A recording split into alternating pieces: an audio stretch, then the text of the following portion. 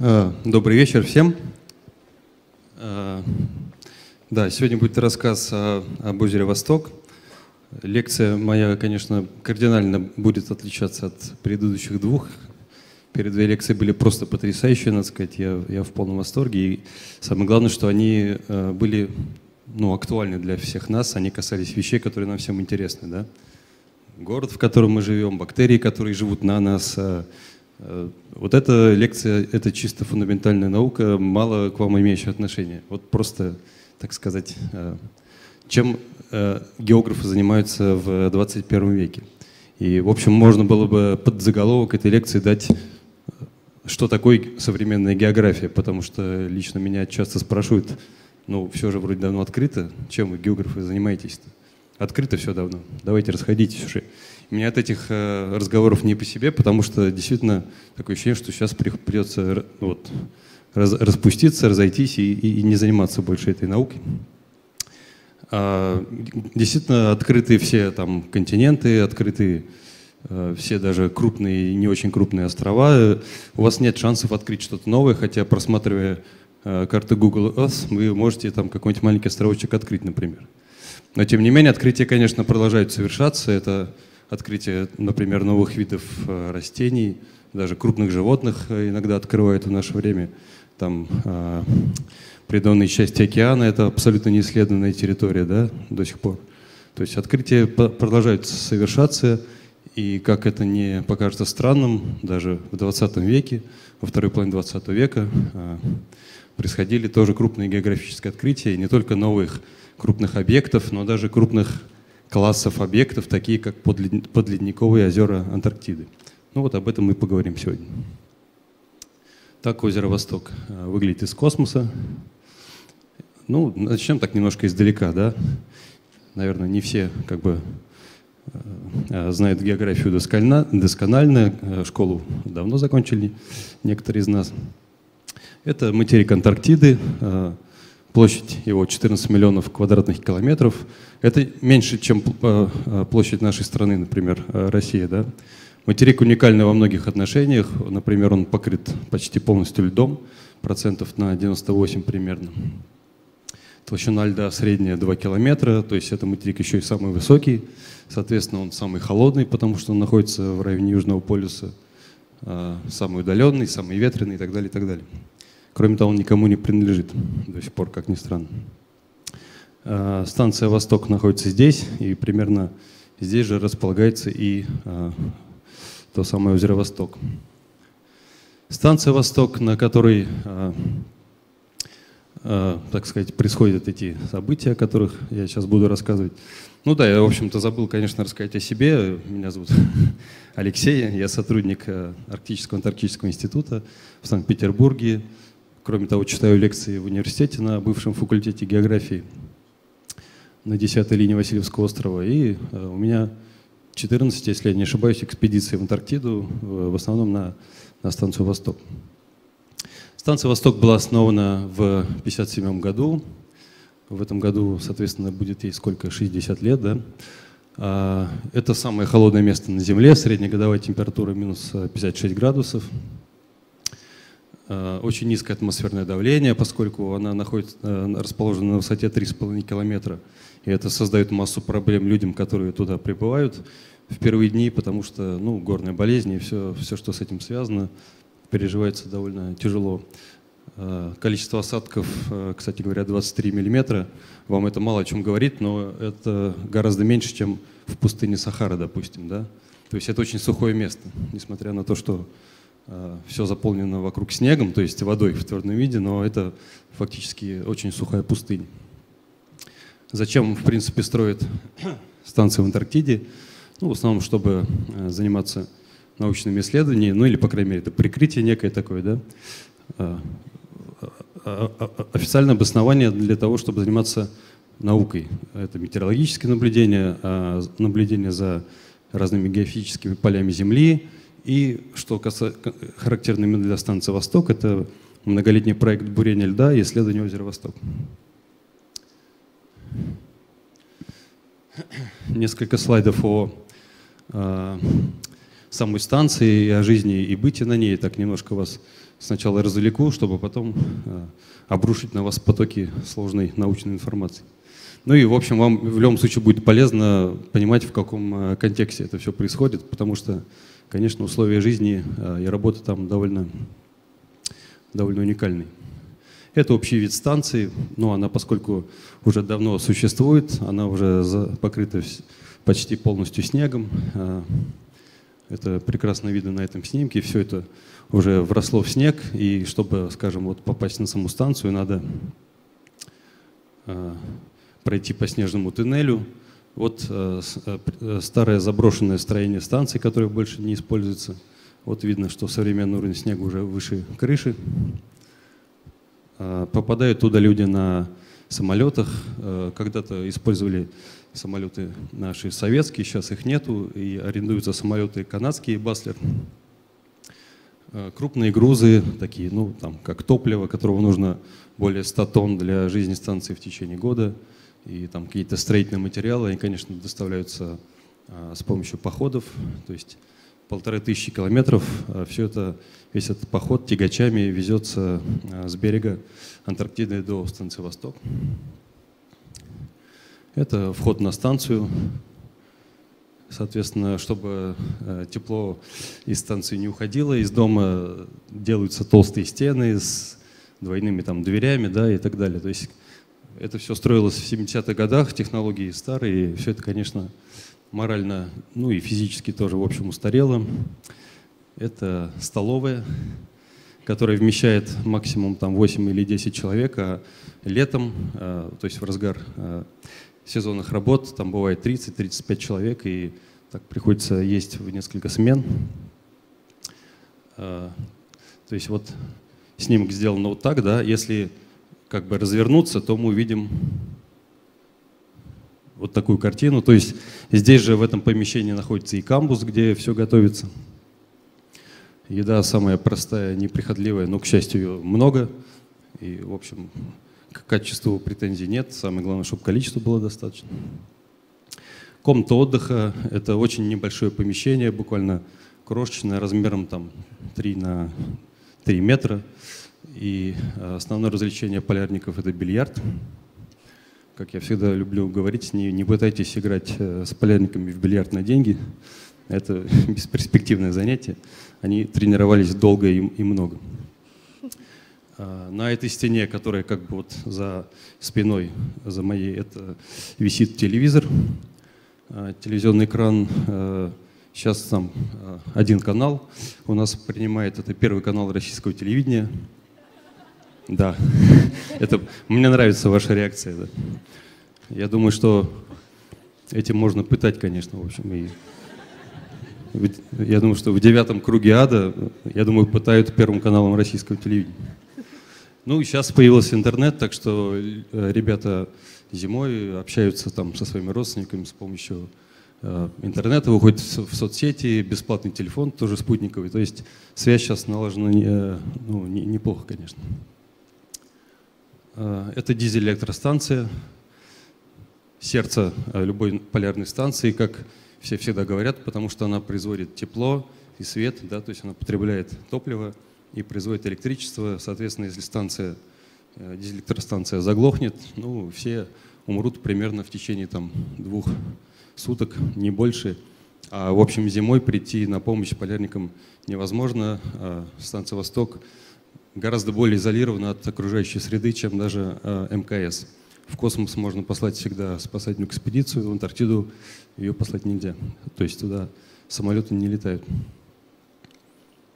Для э, жизни э, станции, для жизни людей нужно много воды. Воды вокруг навалом, но она вся твердая, в виде снега.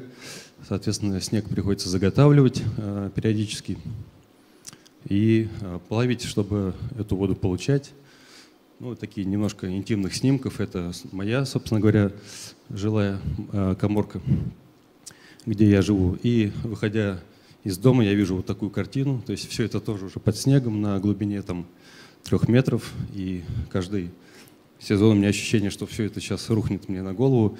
Ну, наверное, когда-нибудь так и случится, да, конечно. То есть э, строительство новой станции – это уже мега актуальная задача, но пока, к сожалению, э, она никак э, не решается, несмотря на то, что уже как минимум два министра российских федеральных побывало на станции. То есть они ахали-охали, возмущались, как же так, так, же, так жить нельзя. Ну, в общем, ничем это дело не кончилось, соответственно. Это буровая вышка станции «Восток», наше основное рабочее место. Ну, собственно говоря, Э, бурение льда на востоке, на станции «Восток» началось в 70-м еще году. Основная цель этого бурения – это э, добыча этих образцов э, ледяного керна, ну я об этом расскажу чуть позже. И это было нужно для изучения прошлого климата Земли, палеоклимата, да? то есть как менялся климат нашей планеты в прошлом. Про озеро тогда никто не знал, это совершенно случайное совпадение, что озеро оказалось прямо под станцией. И проект э, бурения был там успешно закончен в 90-е годы. Я об этом э, а, как бы говорить не буду, поскольку это только косвенно касается нашей темы. В основном буду говорить про аспекты, связанные именно с изучением озера, но тем не менее надо просто помнить, что вот эта буровая вышка и бурение началось э, именно для изучения палеоклимата. Бурение – это, понятное дело, такая сложная технологическая операция. Буровой снаряд – это сложная штука, с которой могут справляться только специально обученные люди, специалисты, буровики. Кое-кто он сегодня сидит в зале, кстати говоря. А, несколько снимков разных буровых моментов. Это разборка снаряда. Ну, грубо говоря, снаряд представляет собой полую трубу, которая, на конце которой есть э, ножи. Этот э, труба вращается, зарезается в лед, и вынимая трубу обратно, ты получаешь вот этот э, ледяной цилиндр, да, ледяной керн. Но, соответственно, чтобы все это работало, нужна масса вещей, таких как двигатель, насосы, фильтры и прочее, прочее. Это все непросто. Это момент разборки снаряда, извлечения ледяного керна, буровая лебедка. Все такое большое советское тяжелое оборудование, железяки, которыми э, не справится обычный человек. Вот момент извлечения керна из э, бурового снаряда. Это уже моя рабочая территория, галлицологическая лаборатория. Соответственно, после того, как э, керн извлечен, он попадает мне в руки, дальше я уже там с ним работаю, отбираю образцы какие-то, которые вот нужны там нам для, для исследований. Керн разделывается самыми разными способами. Вот так он выглядит, э, так сказать, на, через свет на, на срезе. Абсолютно идеальный э, лед, без э, идеальной кристаллической структуры, без всяких примесей и всего прочего. Ну, давайте теперь, наконец, перейдем к озеру. И история открытия озера, она довольно долгая, была неторопливая, в общем-то, сложная. Ну и самый первый вопрос, который мы должны, конечно, задать, откуда вообще берется э, вода под льдом Антарктиды. Это то, что называется немножко контринтуитивно, да, потому что если у тебя на поверхности минус 50 градусов, откуда там может взяться жидкая вода внизу? Одним из первых, кто на этот вопрос ответил, это был Игорь Алексеевич Зотиков, э, известный наш российский ученый и, кстати, писатель неплохой был тоже. Э, его кандидатская диссертация была как раз связана вот с изучением э, вот этих э, процессов. Он просто рассчитал, что в Центральной Антарктиде за счет геотермального потока тепла, то есть Земля внутри горячая, она излучает это тепло, и, соответственно, в любой точке Земли, если ты идешь вглубь, то температура растет, и то же самое происходит в Антарктиде. Если толщина ледника достаточно большая, то на определенной глубине ледник достигает просто точки плавления. И, собственно, по его расчетам, большая часть э, э, антарктического ледникового щита, в общем, она должна таять там на дне. И э, забегая вперед, надо сказать, что он был абсолютно прав. Он любил, когда был жив, еще рассказывать потрясающую историю, что он вышел на защиту с этими положениями. Ему не верили, конечно, и как раз в момент защиты, когда уже все были готовы проголосовать против, пришла телеграмма от американских коллег, которые бурили на станции Берт, и у них, э, они добурили до ложи, и у них пошла в скважину вода. и телеграмма пришла прямо вот в момент защиты, ну и все получилось хорошо. Ну, я думаю, он, конечно, немножко приукрасил, он был потрясающий рассказчик, но, наверное, большой элемент правды тут тоже есть, конечно. Следующее имя, которое надо упомянуть, это Андрей Капица, который в 50-х тоже годах а, занимался геофизическими исследованиями в Антарктиде. Ну, в частности, э, сейсморазведкой он занимался, то есть э, на поверхности э, материка производится большой взрыв мощный, и ты просто слушаешь, ловишь эхо, отражение этого звука от подстилающих пород. Ну и физика такова, что каждый, каждая граница раздела сред, когда меняется плотность, она дает отражение и ты видишь отражение от ложа ледника, от коренных пород, осадочных пород там, и так далее. И в каких-то местах он увидел такое характерное двойное отражение, но он тогда это интерпретировал как отражение от осадочного слоя. Только позже стало ясно, что это было отражение от э, слоя воды, на самом деле. Но он это вовремя осознал, и вот в 1996 году опубликовал эту работу в журнале Nature об открытии озера Восток. В 70-е годы британские ученые летали на самолетах и совершали вот эту радиолокационную разведку. Э, метод радиолокации, он хорошо прошивает ледник и там какую-то верхнюю часть может быть скальных пород, но он не может пройти, радиоволны не могут пройти сквозь воду, поэтому от воды идет очень хорошее отражение. Соответственно, вот они тоже детектировали какие-то водные э, слои под ледником, но еще тогда они не сообразили э, все эти отражения собрать как бы в один водоем. Да? И только уже, когда наконец пришли э, методы э, спутниковой альтиметрии, то есть ну, вот современная эра спутниковых наблюдений, вот были получены такие потрясающие снимки поверхности ледника, и в районе озера Восток обнаружилась очень большая и абсолютно плоская гладкая поверхность, которая могла сформироваться только в том случае, если подо льдом есть вода в жидком виде. Ну и тогда уже все у всех сложилось в голове, и вот в 93 год можно считать годом открытия озера Восток, собственно. Этих озер теперь известно огромное количество, я думаю, что, наверное, больше 400 уже закартировано. Их, конечно, гораздо больше, потому что открытие этого озера – это явление более или менее случайное. То есть твой путь, а, не знаю, твоего самолета – радара должен случайно через это озеро пройти. Подавляющее большинство озер, они очень мелкие, размером там порядка первых километров, не больше. Тем не менее, их очень много, они повсюду существуют подо льдом Антарктиды, так же, как различные реки, каналы и прочее. Ну, это может быть карта, она более воображаемая, чем э, реальная. Тем не менее, надо понимать, что это действительно активная подледная гидрологическая система, которая э, вот, она себя проявляет буквально в том, что иногда видно, как вода перетекает из одного озера в другое под льдом Антарктиды. Все, все это там происходит на наших глазах, конечно. И в этой системе сосредоточено гигантское количество воды. Это многие-многие тысячи кубических километров. Это невообразимое количество воды там находится на самом деле. Ну, почему тогда озеро Восток, собственно, а, самое известное, почему оно привлекает больше всего внимания – по разным причинам. Ну, во-первых, оно самое крупное, по крайней мере, из ныне известных. Это самое крупное подледниковое озеро. И, в общем, его рассматривают как самый близкий земной аналог а, различных подледных океанов на других планетах Солнечной системы, таких как, например, планета Европа или Энцелад, или там другие еще есть планеты, где, как считается, они покрыты льдом, и под льдом есть океаны воды.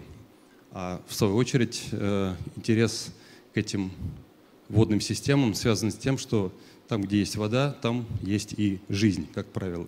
Такое, такой есть закон природы, по крайней мере, на планете Земля.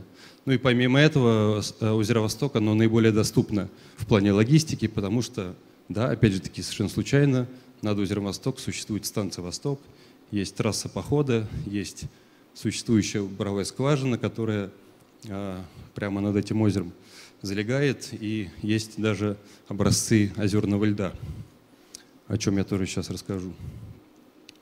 То есть оно просто напрашивается для изучения, конечно.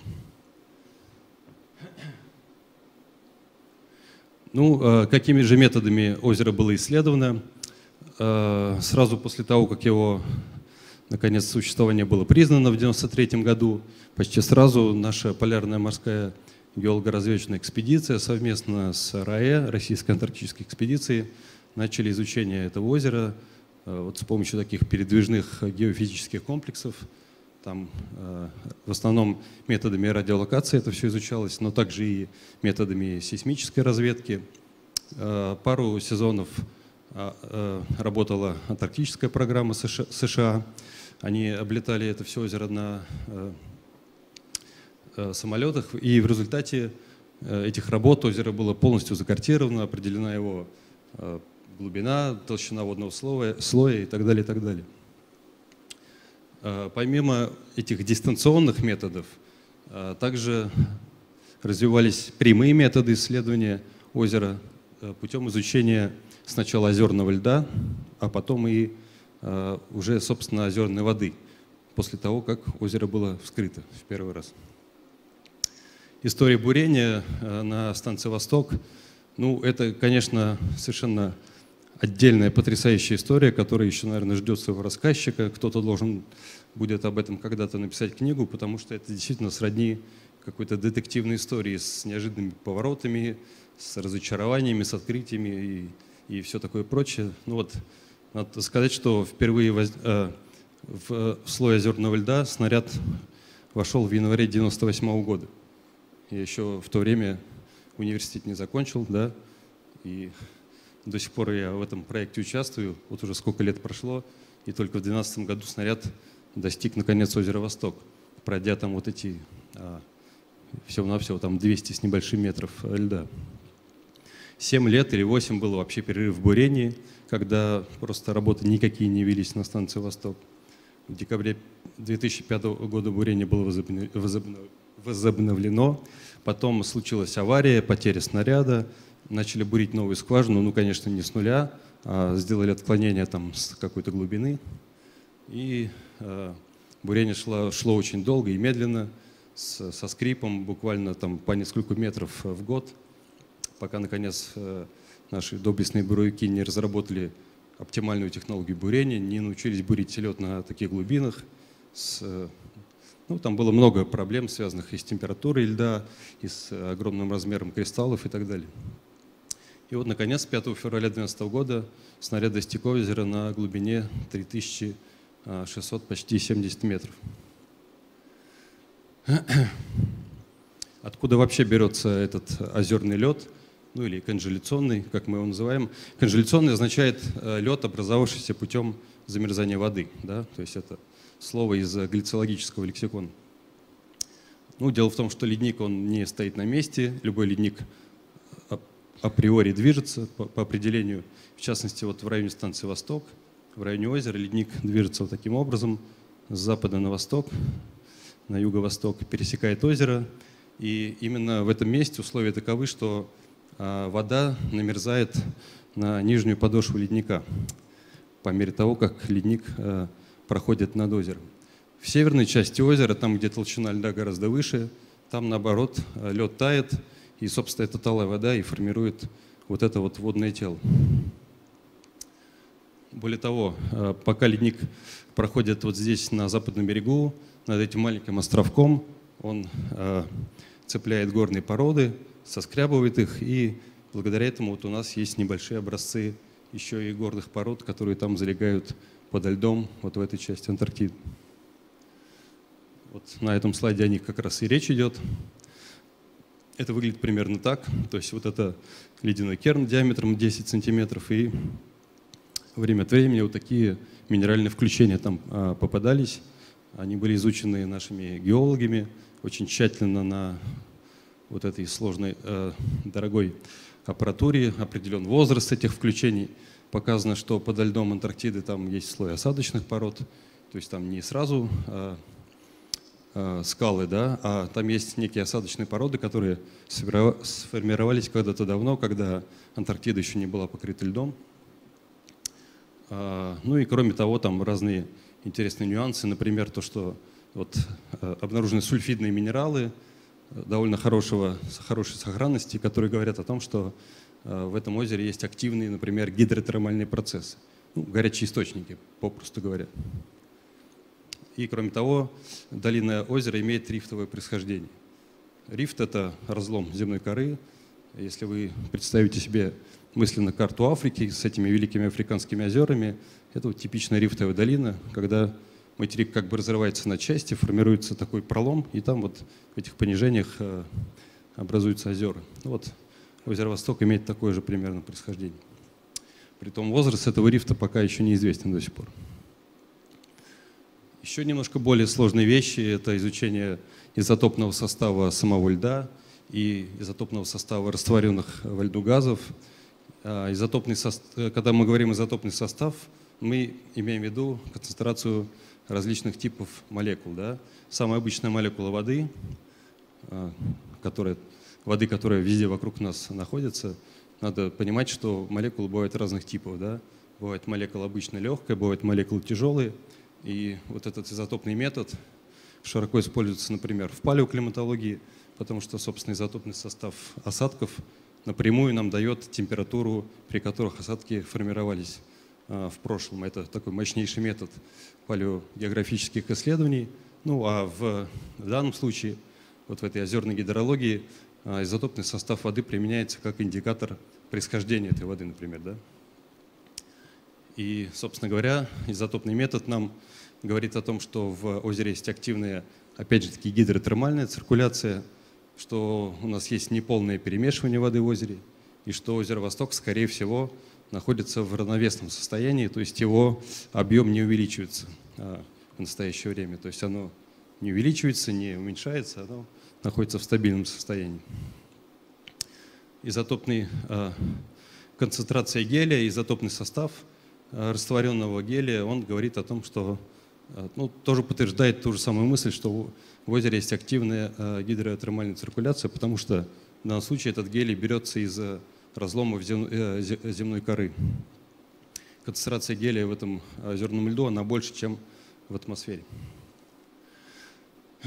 Газовый состав озера тоже крайне сложная и интересная э, вещь. Ну, что как бы надо вам понять, усвоить из этого графика, пожалуй, только одно, то что газы попадают в озеро в его э, северной части, там, где происходит таяние ледника, потому что в атмосферном льду огромное количество газов растворено, которые берутся из, атмосферы, попадают в лед, и дальше при таянии льда они попадают в это подледниковое озеро. А в южной части озера, где станция «Восток» находится, там вода замерзает, и при замерзании воды, при медленном замерзании воды, вот этот формирующийся лед, он от себя отталкивает все примеси, и газы в том числе. Соответственно, газам деваться некуда, они накапливаются в озере. Да? То есть в озере растворено просто гигантское количество газов, которого ну, такого количества не может быть, скажем, в обычной, э, в обычной воде озерной, ну, в нормальных условиях. И, даже по этому поводу были такие опасения, что в этом озере есть такая газовая подушка, которая находится под огромным давлением, и при вскрытии озера эта подушка может взорваться и так далее. Ну, еще до вскрытия было ясно, что это все, а, конечно, не так, поскольку существует такая вещь, как газовые гидраты. Это такое необычное образование, вы его тоже не встретите в обычных условиях. Выглядят, выглядят они таким образом. Это очень маленькие такие кристаллики прозрачные. Это не что иное, как, не, не что иное, как твердая смесь э, воды и газов. То есть это молекулы газа, заключенные в твердую оболочку, сделанную из э, кристаллов, э, кристаллов льда. Поэтому весь лишний газ, который в озере может образоваться, он просто идет на рост этих газовых кристаллов, и никакой воздушной подушки при этом давлении э, быть не может, конечно. Изучается и кристаллическое строение самого льда, собственно говоря, то есть методами кристаллографии. Это, кстати, э, князь Монако Альберт II на станцию приехал как-то в качестве туриста. А, изучается кристаллическое строение самого льда, то есть размер кристаллов, форма кристаллов и ориентировка кристаллической оси э, этих э, кристаллов. Ну, невозможно, конечно, эти вещи объяснить там в двух словах, да, как бы людям, которым это изначально не, не интересно. Э, скажу лишь то, что вот строение этих э, кристаллов и изменение этого строения с глубиной, оно вполне, собственно говоря, типично для обычного озерного льда. Да, то есть, э, когда растет лед, скажем, зимой на озере в спокойных условиях, то с глубиной кристаллики начинают вытягиваться в вертикальном направлении, и их ориентировка, они увеличиваются, увеличиваются в размерах с глубиной, и ориентировка их приобретает определенное направление. Вот как бы все, что надо об этом знать вам. И э, на озере Восток происходит, в общем, ровно то же самое. Типичный озерный лед. Ну, за исключением того, что поскольку этот процесс здесь идет э, очень долго, возраст этого льда 40 тысяч лет, представьте себе, вы не можете найти нигде на Земле озерный лед возрастом 40 тысяч лет. То есть это гигантское время, соответственно, кристаллы успели вырасти до невероятных размеров. Размер кристаллов там достигает 2-3 метра то есть монолитных э, кристаллов. Нигде такого больше увидеть, конечно, невозможно. Ну и самое интересное, что интересует абсолютно всех, это, а, а собственно, кто живет в озере, какая жизнь там может существовать в принципе, и как мы можем э, это изучать. Ну, есть, генерально есть два, два больших направления, как мы можем изучать микробные, ну и вообще жизнь в озере. Да? Первое – это а, искать все, что мы можем найти, и пытаться это интерпретировать. Второе – это понимать экологические условия в озере и предсказать, кто там может, э, кто там может жить. Ну, первый способ, он довольно сложный, поскольку концентрация молек... э, э, микробов в любом случае крайне низкая. Э, вот тут эти цифры э, приведены. Меньше 10 клеток на миллилитр для любого микробиолога это означает ноль. Это абсолютно стерильная среда, где очень трудно что-то найти. Тем не менее, э, находки все-таки были сделаны. Единственная доказанная находка – это термофильные бактерии, которые были обнаружены во льду и которые, ну, опять же таки, взялись из, из этих э, гидротермальных источников, наличие которых уже подтверждено просто целым э, рядом методов. И, в общем, это такой эти комплексные исследования озера – это прекрасный пример того, как разные, абсолютно разные научные методы друг друга э, дополняют вот в одном таком э, исследовании. Помимо этой находки, других э, доказанных находок, в общем, пока нету, надо сказать. Другой способ – это понять условия в озере и предсказать, кто там может жить. Вот первый докладчик сегодня нам как бы об этом рассказал, сделал такое прекрасное введение к моему докладу. То есть э, есть определенные экологические условия, да, определенная экологическая ниша, где может жить вот такой организм и не будет жить другой организм. Если посмотреть на озеро Восток, то единственное, кто там может жить, это хемоавтотрофные, психрофильные актигенофилы. Ну, я думаю, Илья единственный человек, который сейчас понял, о чем идет речь. Но если перевести на человеческий язык, это означает, что эти микробы должны питать сами себя, да, потому что там, э, скажем так, слишком мало биомассы, чтобы они могли питаться кем-то еще. Они должны производить энергию сами, причем не из э, солнечного света, которого там нет, а путем химических реакций. Они должны выдерживать низкую температуру и высокое давление. И самое главное, они должны выдерживать большое количество э, растворенного в воде кислорода, который является абсолютнейшим ядом для любой, для любой жизни, потому что кислород, он просто ну, сжигает органику. Мы дышим воздухом, но в нашем воздухе только 20% кислорода да, и 70 там 8% азота. Если бы мы вдохнули чистый кислород, мы просто сожгли бы себе легкие. И это то, что должно происходить в озере Восток. Если там кто-то живет, эти микробы должны быть приспособлены к этому адскому уровню э, кислорода. Так или иначе, в общем, э, о жизни в озере Восток пока ничего определенного сказать нельзя. И вообще, давайте подведем итог, что мы знаем об озере, чего не знаем. Ну, мы очень хорошо знаем о размерах этого озера, его, о, о его морфологии. Площадь его при, примерно 15 тысяч квадратных километров. Это примерно равно э, площади Ладожского озера, крупнейшего водоема Европы. Объем при этом у него гораздо больше, кстати говоря. 6 тысяч кубических километров, и это ставит его на пятое место в списке крупнейших пресноводных озер мира, между прочим. А, озеро находится в равновесии, озеро, скорее всего, изолировано от внешнего мира на протяжении как минимум многих миллионов лет, что делает его таким уникальным объектом исследования. А, в озере существует активная циркуляция воды, есть гидротермальные источники, озерная вода насыщена воздухом и стал быть кислородом. То есть мы знаем довольно много, но мы не знаем главного. Когда и как озеро образовалось, то есть при каких условиях это происходило, и, собственно говоря, есть ли жизнь в озере.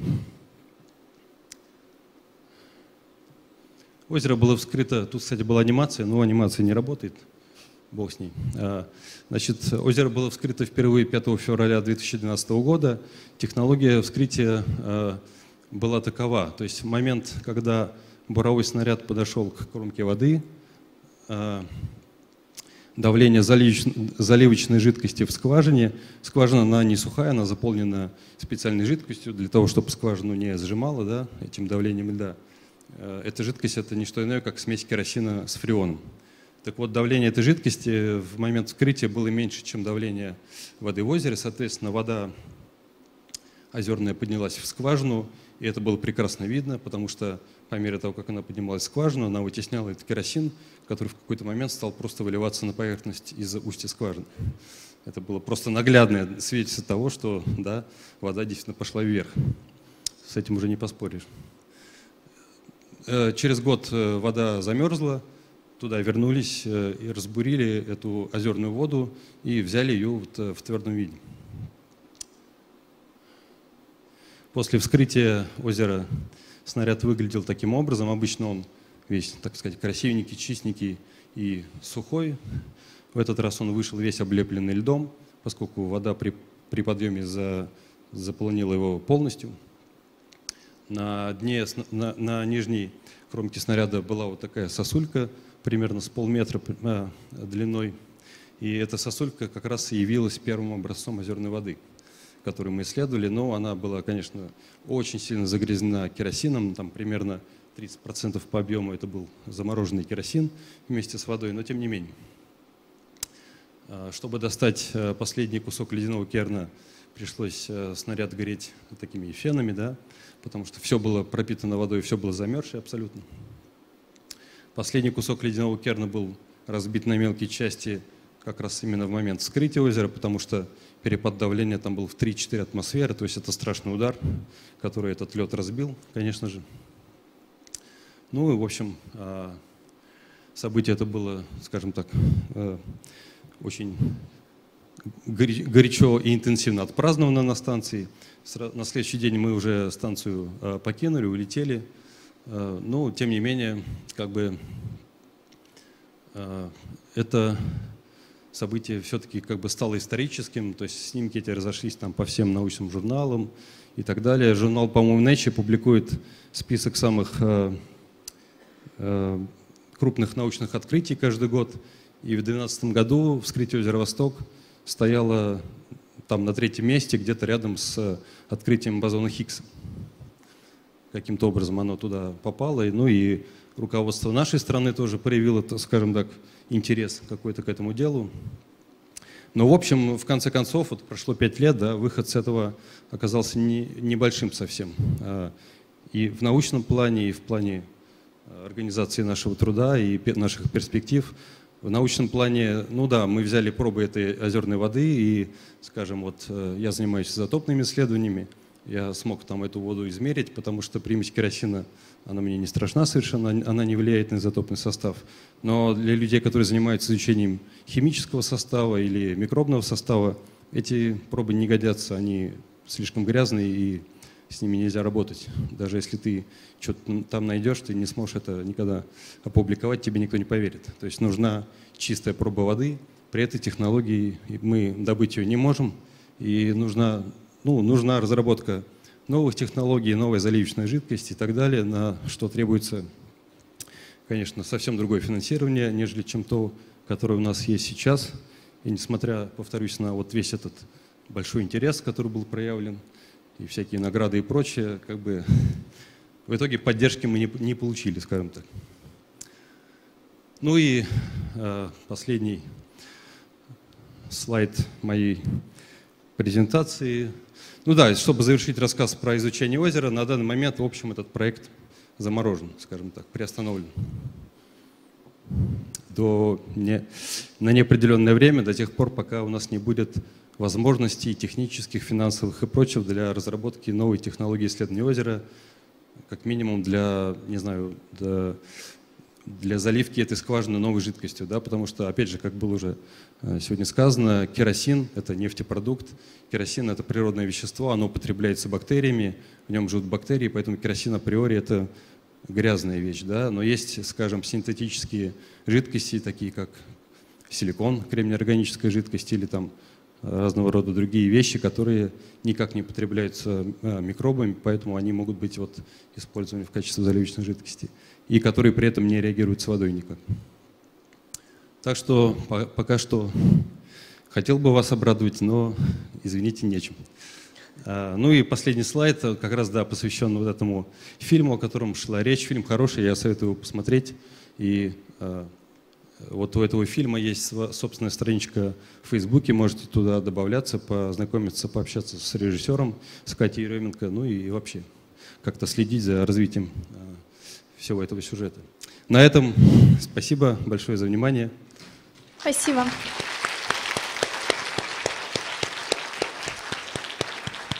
А, ваши вопросы по поднятой руке. Да, вон поднятая рука где-то далеко. Угу. Скажите, пожалуйста, а, алло? Да. А, я, я здесь. Да. Скажите, пожалуйста, э, мы все знаем, что объем воды меньше, чем объем э, соответствующего количества льда. Э, соответственно, если там зазор воздушный или какой-то еще э, в том месте, где у нас плавится лед, и над поверхностью озера Восток и льдом, есть ли э, зазор воздуха или нет? Ну, мне кажется, я об этом сказал прямо явно. Нет, зазора нет и быть не может никакого. Чисто теоретически его не может быть. Угу. Следующий вопрос. Здравствуйте, у вас очень интересная лекция. Меня бы очень интересовал, знаете, какой вопрос? Вот все говорили, что брали а, пробы льда, брали пробы воды. А скажите, а есть вообще в каких-то планах а, а, и известна ли глубина хотя бы примерно этого озера? Потому что там же очень много должно быть каких-то осадочных пород. А в любой осадочной породе, как в наших как бы, наземных озерах, там же можно посмотреть, кто там жил, что там есть, что там растет. Есть ли это в планах вообще? Отличный вопрос. Э, да, это есть, э, если не в планах, то в мечтах. По крайней мере, естественно, об этом мы думаем, да. То есть изучение осадочных пород, это, было, это был бы просто потрясающий проект, потому что любые осадочные породы тоже дают вот эту климатическую запись, да, и в этом случае это был бы, была бы запись истории климата Антарктиды за последние миллионы лет. То есть это вот то, что просто всех ужасно интересует. Но до них добраться, до этих э, пород, ну, таких технологий нет пока, в общем-то. Таких технологий нет, то есть э, вот эти 4 километра льда, под ними 600 метров воды, то есть надо как-то делать эти обсадные трубы сквозь толщу воды, туда этот снаряд. Не, ну технологии есть, конечно, просто их надо, в общем, адаптировать конкретно для этого случая. Это будет все ужасно э, дорого и сложно, но э, мечты такие есть. Конкретных планов нет, конечно.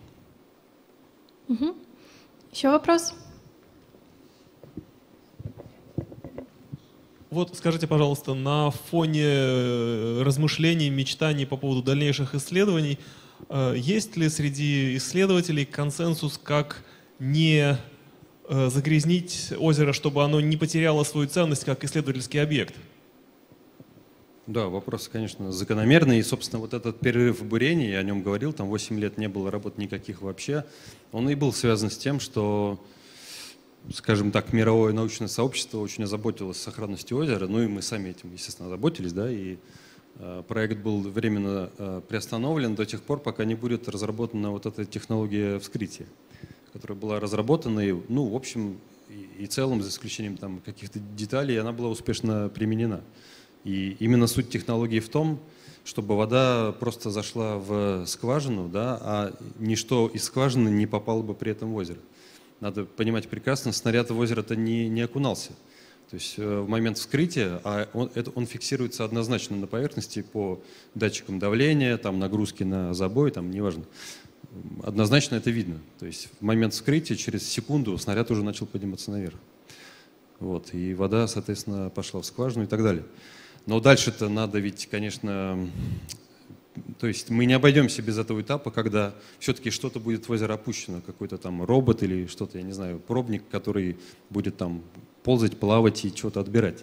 Без этого не, не обойтись в будущем. И, естественно, как бы придется думать о стерильности и об этих всех вещах. Но, в общем, на самом деле эти технологии отчасти они уже разработаны, они используются в космической отрасли, да, потому что когда что-то посылается на другие планеты, там на Марс, казалось бы, какое нам дело до этого Марса, но тем не менее там все эти аппараты, они стерилизуются на самом деле изначально. В общем, такие технологии есть, конечно, да. Можно придумать. Угу. Спасибо. И последний вопрос давайте. На... Угу. Хотелось бы уточнить такой момент. Вот сейчас вы сказали, что проект заморожен на данный момент, да, я правильно понимаю? А что там происходит? Вот вы же, наверное, ездите в экспедиции и поедете снова. Что вы будете делать, если проект э, сейчас не функционирует? Да, спасибо за вопрос. То есть мы туда ездим и будем ездить, и я туда поеду в конце ноября в очередную экспедицию, и буровики туда тоже поедут, им там всегда есть чем заняться, они будут испытывать какое-то новое оборудование, вот будут уже испытывать новую жидкость, кстати говоря, буровую, но не в скважине, а, скажем так, на стенде. Соберут стенд. Ну, что такое стенд? Это просто искусственный лед, Э, сделают там эту, там, скажем, скважину, заполнят ее вот этой кремнеорганической жидкостью и будут смотреть, как снаряд в принципе себя в ней ведет, потому что ну, там неизвестно заранее, может быть, вязкость этой жидкости и так далее. То есть надо просто это испытать сначала, э, скажем так, в контролируемых условиях, прежде чем в скважину все это пихать. То есть э, там будет сезон в этом году, поедут буровики ну, в небольшом количестве, бурения не будет, э, ну, самого бурения в, в этой действующей скважине его не будет, скорее всего, просто в нем нет, сейчас нет никакого смысла. Зачем? Потому что в озеро проникать мы не собираемся больше пока. Ну и так далее. Ну, а я глициолог, у меня там, в общем, помимо этой скважины, своих дел полно, как говорится, не связанных с озером Восток никак, так что... А, это Тут надо разделять, потому что вся наша деятельность в, на станции «Восток» в Антарктиде финансируется из бюджета Российской антарктической экспедиции, но это только операционные расходы, да, так называемые, то есть логистика только. Э, деньги на науку – это совершенно другой источник э, финансирования. Это было раньше в рамках федеральной целевой программы «Антарктика», которая закончилась в 2013 году и не была продлена по каким-то причинам, несмотря на вот прям вот буквально личное распоряжение Путина. Вот у меня этот документ прямо вот всегда в кармане лежит, условно говоря. То есть он это подписал, но э, на каком-то там этапе это все заглохло. Министр финансов там сказал, денег нет, ну, а, а, видимо, он самый главный у нас в стране, министр финансов, да. Поэтому вот. Но, скажем, были и такие реально кризисные годы. Вот пару лет назад, то есть на Востоке не, не было сезона вообще. То есть они просто сменили зимовочный состав, ну, потому что иначе надо совсем закрывать станцию, и это уже вообще катастрофа, да. То есть они сменили зимовку, завезли туда минимально необходимое количество топлива, сэкономили, соответственно, на вот этом походе, на, на самолетах. Потому что станция «Восток», она дорогая, это понятно, она ест много денег. Вот, они немножко сэкономили, сменили зимовку, но сезонных работ не было два года назад. И, в общем, эта история может, может повториться. А, ну, Финансирование не увеличилось у РАЭ, но вот как-то они на, нашли средства. Бюджет РАЭ это полтора миллиарда рублей в год. Это вроде бы и не маленькая сумма, но у нас два судна есть у российской экспедиции антарктической, пять станций круглогодичных. Это все очень дорогие игрушки, и, соответственно, вот деньги туда как бы идут. А все расходы РАЭ, они, как бы сказать, в валюте, да, потому что там топливо надо закупать и прочее. Ну, в общем, что тут это обсуждать-то? Денег нет, короче, но вы, но вы. Примерно месяц такой, как бы нам постоянно идет. Да.